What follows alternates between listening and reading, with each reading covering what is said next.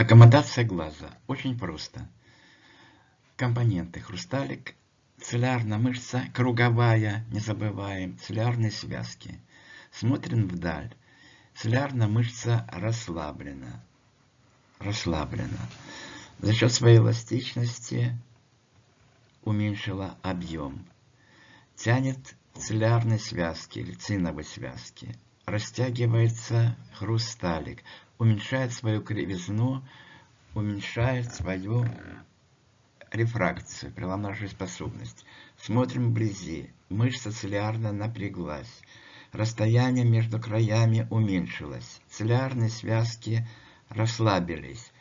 Хрусталик за счет своей эластичности уменьшил диаметр, увеличил кривизну, увеличил преломляющую способность.